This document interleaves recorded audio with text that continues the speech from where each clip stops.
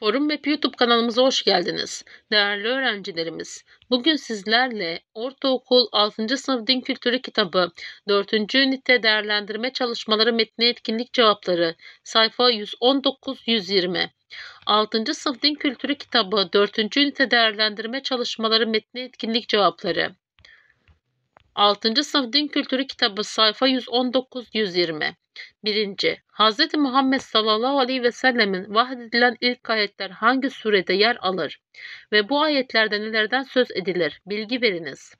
Cevap Hz. Muhammed'e vahyedilen ilk ayetler Alak suresinin ilk 5 ayetidir. Bu ayetlerde Allah'ın adıyla okumanın önemi vurgulanır. İnsanın bir damla sudan yaratıldığını hatırlatır ve ilim, ilim öğrenmenin değerini belirtir. İkinci, ilk Müslümanlar kimlerdir söyleyiniz. Cevap, İlk Müslümanlar sırasıyla Hazreti Hatice, Hazreti Ali, Hazreti Zeyd ve Hazreti Bekir'dir. Hazreti Hatice peygamberimizin eşi olarak ona ilk iman eden kişidir. Hazreti Ali peygamberimizin amcasının oğlu ve genç bir Müslüman olarak İslam'ı kabul etmiştir. Hazreti Zeyd azatlı bir köle, Hazreti Ebu Bekir ise en yakın dostuydu.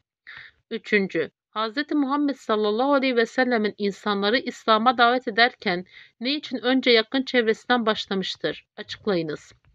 Cevap Yakın çevresi onun dürüstlüğüne ve güvenirliğine yakından şahit olmuştur. Bu nedenle davetini kabul etmeleri hakkında kolaydı. Ayrıca İslam'ı yaymak ilk önce güçlü bir çekirdek topluluğu oluşturmak istiyordu. Dördüncü, Müslümanlar ne için Habeşistan'a hicret etmek zorunda kalmıştır söyleyiniz. Cevap, Mekke'de müşriklerin baskı ve işkencelerine dayanılmaz hale gelmişti. Bu nedenle Habeşistan'ın adil krallığına sığınmak ve inançlarını özgürce yaşamak için hicret etmek zorunda kaldılar. 5. Mescid-i Nebi'nin toplumsal işlevi nedir? Anlatınız. Cevap Mescid-i Nebi'nin Medine'de inşa edilen ve sadece ibadet için değil, aynı zamanda eğitim, dayanışma ve sosyal yardımlaşma merkezi olarak kullanılan bir mescittir. Müslümanlar burada toplanır, sorunları çözer ve ibadetlerini yerine getirirdi. 6. Bedir ve Uhud savaşlarının nedenleri nelerdir? Açıklayınız. Cevap Bedir Savaşı'nın nedeni Mekke, Medine'deki müşriklerin Müslümanlara ekonomik ve askeri baskı yaparak onlara ticaret yollarını kesmeye çalışmalarıydı. Uğuz Savaşı ise Mekkelilerin Bedir yenilgesini, intikamını almak istemesi ve Medine'ye saldırı düzenlemesinin sonucunda gerçekleşti. 7. İslam'a davet mektupları ne için gönderilmiştir? Bu mektupların içeriği hakkında bilgi veriniz. Cevap Hz. Muhammed İslam'ın evrensel bir din olduğunu göstermek ve insanları Allah'a teslim olmaya davet etmek için farklı ülkelere mektuplar göndermiştir. Bu mektuplar İslam'ın barış ve tevhid mesajını iletmek için yazılmıştır. 8. Veda haccı ve veda hutbesi hakkında kısaca bilgi veriniz. Cevap Veda haccı Hz. Muhammed'in hayatındaki son haccıdır. Bu hac sırasında veda hutbesini okuyarak Müslümanlara önemli tavsiyelerde bulunmuştur.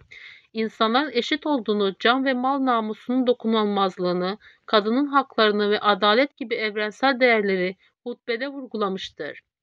9. Hz. Muhammed sallallahu aleyhi ve sellemin vefatı Müslümanları nasıl etkilemiştir? Anlatınız. Cevap Hz. Muhammed'in vefatı Müslümanlar arasında büyük bir üzüntüye neden olmuştur. Bazıları bu durumu kabullenmekte zorlanmış ancak Hz. Ebu Bekir'in liderliğiyle İslam toplumu yeniden toparlanmıştır. Bu olay peygamberimizin insani yönünü ve liderliğinin devamlılığını göstermektedir. 10. Nasıl suresini okuyunuz ve anlamını söyleyiniz. Cevap Nasıl suresi Allah'ın zaferi ve yardımının geldiğini müjdeler. Bu zaferin ardından Allah'a şükretmek, onu övmek ve bağışlama dilemek gerektiğini anlatır. Bu surede Hz. Muhammed'e peygamberlik görevi tamamlandığını işaret eder. 11.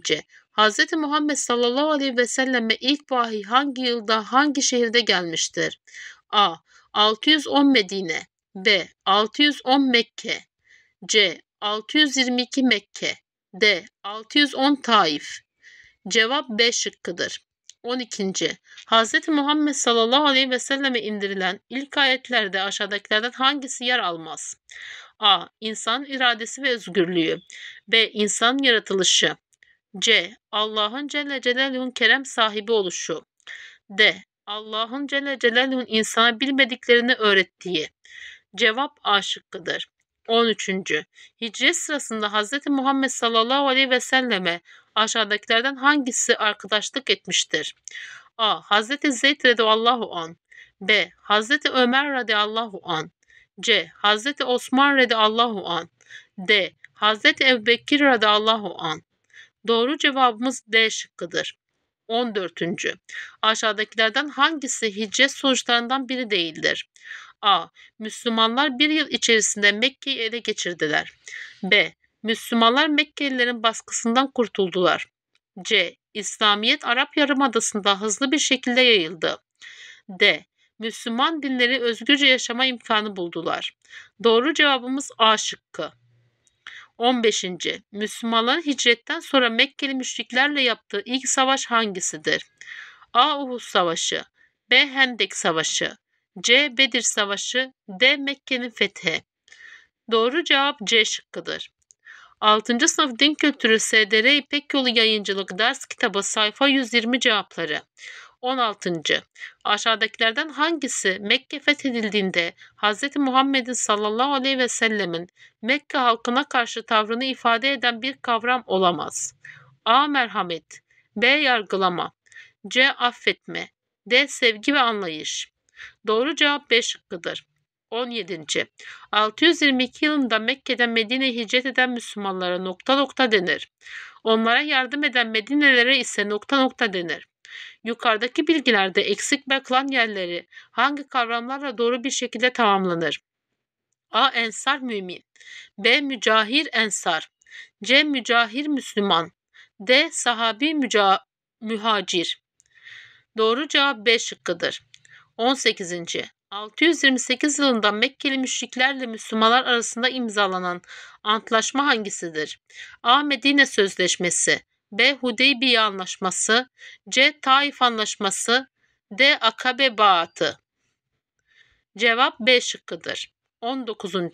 Aşağıdaki cümlelerde boş bırakılan yerleri kutucuklarda verilen kelime ve kelime gruplarıyla doğru bir şekilde tamamlayınız. Cevap A. Hz. Muhammed sallallahu aleyhi ve sellem 610 yılında Hira mağarasında ilk vahiy gelmiştir. B. Hz. Muhammed sallallahu aleyhi ve sellemin ilk vahiy Cebrail aleyhisselam getirmiştir. C. Hz. Muhammed sallallahu aleyhi ve sellemin peygamberliğini kabul edip ona iman eden ilk kişi Hz. Hatice radıyallahu andır. C. 632 yılında Hz. Muhammed sallallahu aleyhi ve sellem tarafından Araf'ta yapılan konuşmaya veda hutbesi denir. D. Müslümanlar Hendek Savaşı'nda Medine'lere kalıp şehri savunmuşlardır. E. Hz. Muhammed sallallahu aleyhi ve sellem hicretten sonra çeşitli ülke hükümdarlarına İslam davet mektupları göndermiştir. F. Nasır suresi toplam 3 ayettir. G. Nasır kelimesi yardım anlamına gelir. Evet arkadaşlar videomuzun sonuna geldik. Aşağıdaki linkten forum web sitesine ulaşabilirsiniz. Videomuzu beğenmeyi, kanalımıza abone olmayı unutmayın. İyi dersler dilerim.